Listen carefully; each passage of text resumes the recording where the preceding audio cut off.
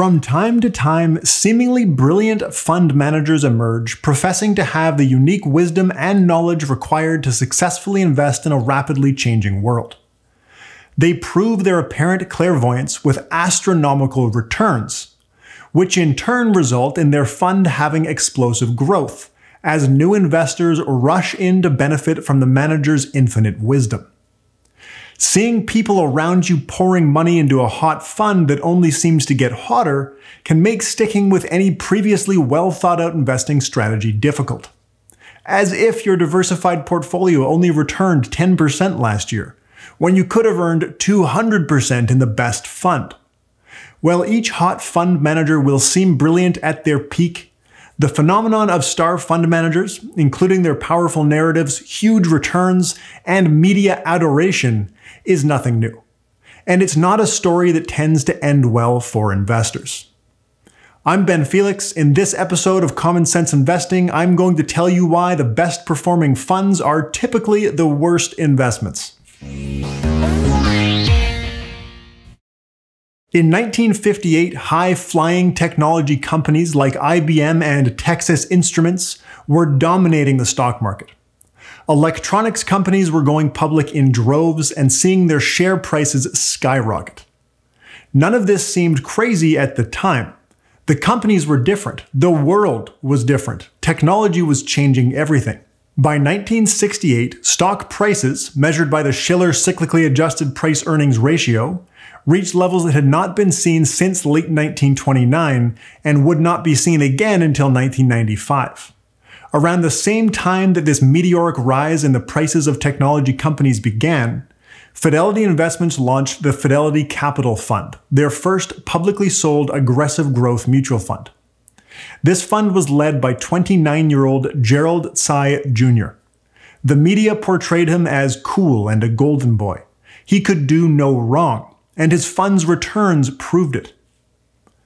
Tsai was known for his ability to perfectly time his buys and sells in high flying stocks like Polaroid, Xerox, and LTV.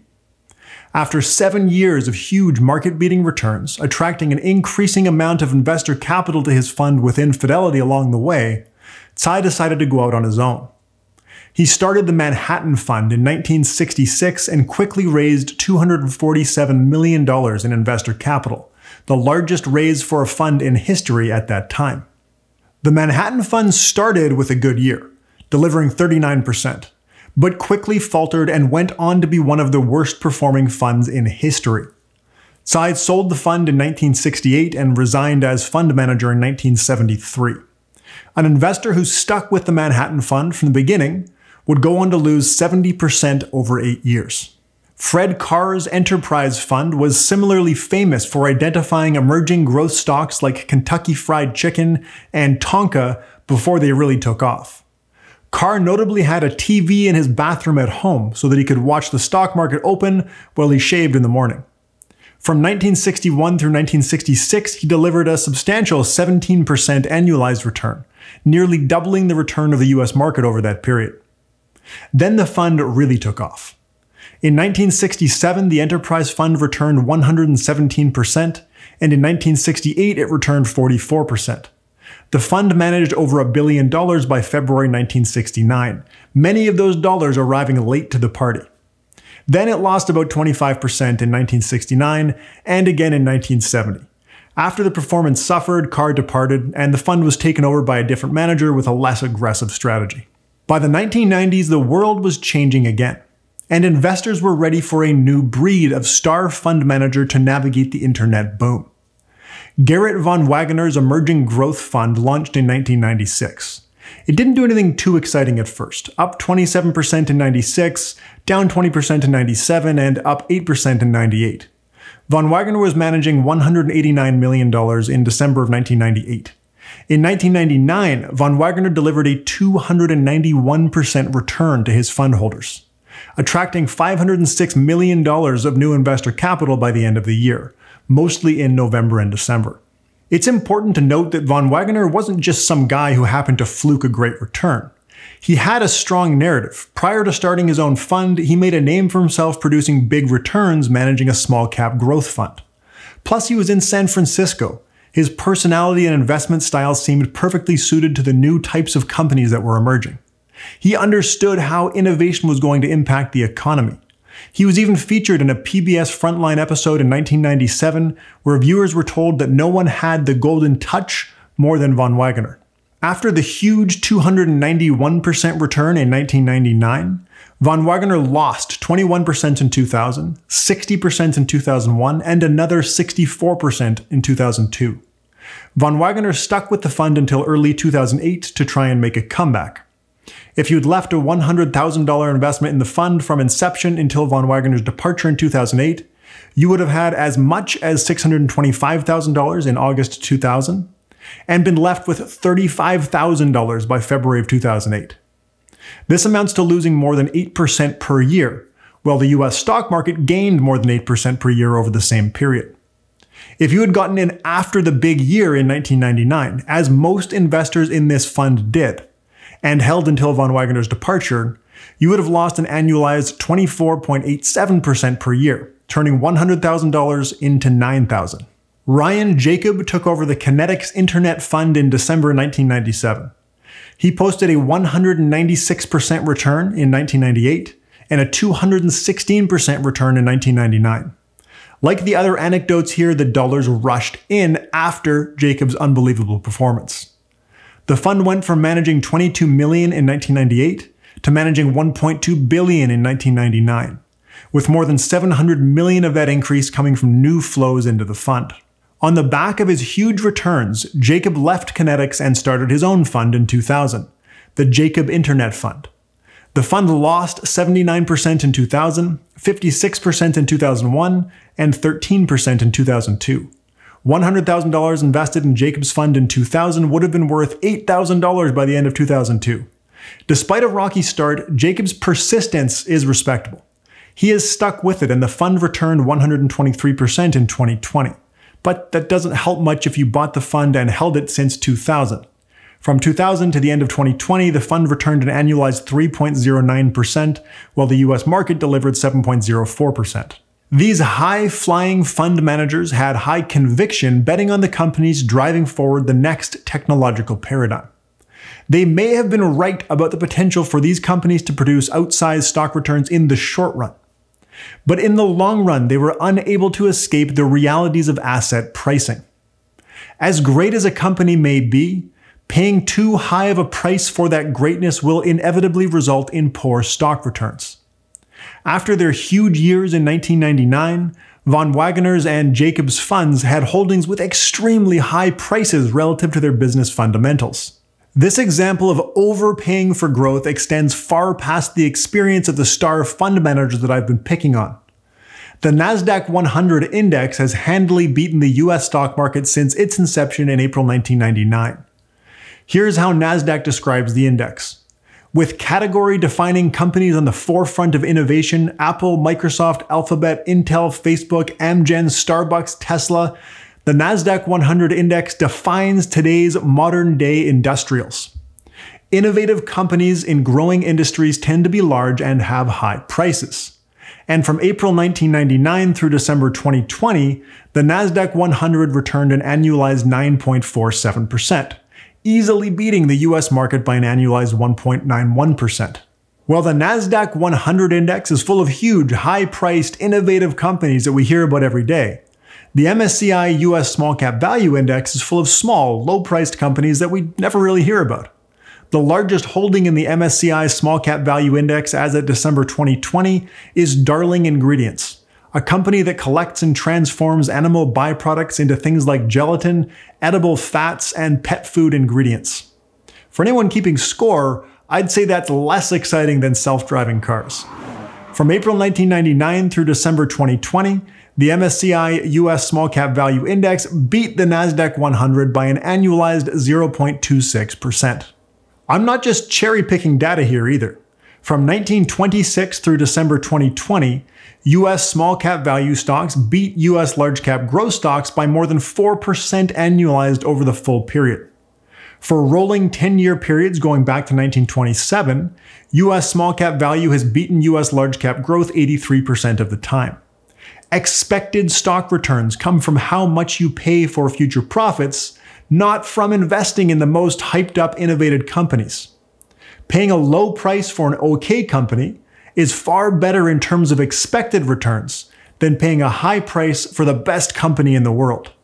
That was a bit of a digression, but it is relevant and important because many of the historically extreme examples of fund managers with eye popping and investor attracting returns have resulted from those managers holding concentrated portfolios of companies that happen to see big short term increases in their prices. Unless the fund manager is truly skilled, more on manager skill in a minute, investing in a fund holding extremely high priced stocks is not typically good in terms of expected returns. The risk of buying into a portfolio with extremely expensive companies is significant, but so is buying into any fund that has recently done well. Despite this, it is unfortunately common practice. A 2008 paper in the Journal of Finance titled The Selection and Termination of Investment Management Firms by Plan Sponsors examined the selection and termination of investment management firms by 3,400 pension plan sponsors between 1994 and 2003. Similar to what we have seen anecdotally, pension plan sponsors tend to hire investment managers after they have produced large positive excess returns for the past three years. These newly hired managers tend to fail at continuing to deliver positive excess returns once they've been hired and then they are fired and replaced with a new manager that has trailing three year excess returns. And the cycle continues. Pushing the empirical finding that investors chase performance one step further, a 2017 paper in the Journal of Portfolio Management titled Does Past Performance Matter in Investment Manager Selection asked how performance chasing behavior affects investor returns. The study authors built a winner strategy that invests in an equal weighted portfolio of funds with top decile performance against their prospectus benchmark for the trailing three years, a median portfolio that invests in the funds that fall between the 45th and 55th percentile of benchmark adjusted returns, and a loser portfolio that invests in bottom decile funds. Each strategy is rebalanced monthly for 36 months and then reconstituted based on the methodology that I just described they found that the average benchmark adjusted return for the loser strategy exceeds that of the winner strategy by 2.28% per year. And the median strategy beats the winner strategy by 1.32% per year. The loser and median strategies outperform the winner strategy across the performance metrics commonly employed in academic studies like the Sharpe ratio, CAPM alpha, and Carhart 4 factor alpha. This finding implies that picking the top funds from the previous three years underperforms for reasons that go beyond their exposure to known risk factors. Mean reverting fund performance, where recent winners go on to be losers, is what we might expect if fund manager success is due to luck rather than skill. If a manager beats their benchmark because they are truly skilled, it would be reasonable to expect them to continue delivering strong performance. However, a lucky manager would be expected to, eventually, revert to the mean. In two landmark papers, Mark Carhart's 1997 On Persistence in Mutual Fund Performance and Fama and French's 2009 Luck versus Skill in the Cross Section of Mutual Fund Returns, the authors found that the vast majority of mutual fund managers do not have enough skill to deliver returns in excess of what would be expected based on the risks that they are taking. The evidence suggests that successful fund managers are more likely to be lucky than skilled. The semi-annual Standard & Poor's Persistence Scorecard lends further support. Of the 556 US domestic equity funds that ranked in the top quartile in June 2016, only 9 of them, or 1.6% of them, managed to remain top quartile through the end of June 2020. While lucky but unskilled managers almost certainly play a role in the mean reverting behavior of top fund returns, another factor affecting the persistence of even skilled managers could be the decreasing returns to scale that actively managed funds experience. In a 2016 paper titled Does Scale Impact Skill? The authors demonstrate that as the size of a fund increases, it becomes increasingly difficult for the fund manager to beat a passive benchmark. Specifically, they find that for an average fund in the cross section that doubles its size in one year, its alpha drops by around 20 basis points per annum. The impact of scale is significant both statistically and economically. This empirical finding supports a 2005 theoretical paper by Jonathan Berk and Richard Green, titled Mutual Fund Flows and Performance in Rational Markets. Berk and Green propose a rational equilibrium model where there is dispersion in active manager skill, investors compete to allocate their capital to the most skilled managers, and active managers have decreasing returns to scale.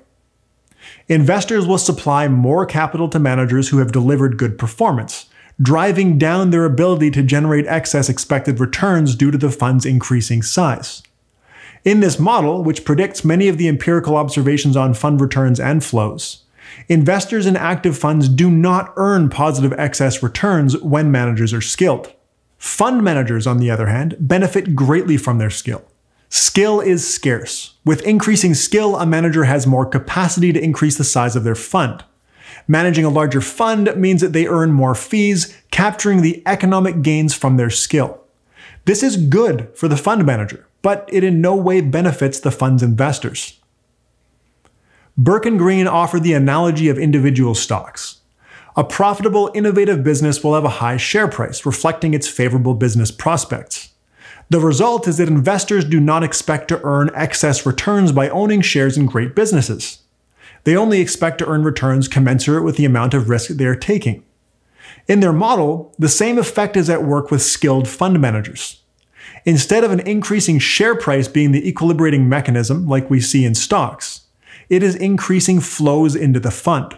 Stated simply, when a fund appears to have a skilled manager, it will receive capital inflows to the point that investors can no longer expect to benefit from the skill due to the fund's decreasing returns to scale. Star fund managers have come and gone throughout history. Investors in their funds, most of whom arrive after the enticing performance numbers have already been posted, typically end up losing big. One reason for this, as seen by the anecdotes of star managers in the tronics and internet booms, is that extreme short term fund returns stemming from companies that become the largest and highest priced stocks in the market have historically been followed by bad long term outcomes relative to investing in smaller and lower priced stocks. This asset pricing effect is not unique to top fund managers. The same effect of extreme high prices leading to lower expected returns applies with an index like the NASDAQ 100 though an active fund may have a more concentrated exposure to the most expensive stocks. Whatever the reason for their big returns, we know empirically that the best performing funds are more likely to go on to be the worst performing funds. This may be due to previously lucky but unskilled fund managers reverting to the mean, or skilled fund managers seeing their funds grow to the point that the benefits of their skill accrue to them, not their investors. No matter how we explain it, the empirical fact remains intact. The best performing funds tend to make the worst investments. Thanks for watching. My name is Ben Felix, and this is Common Sense Investing. If you enjoyed this video, please share it with someone who you think could benefit from the information. Don't forget, if you've run out of common sense investing videos to watch, you can tune into weekly episodes of the Rational Reminder podcast wherever you get your podcasts.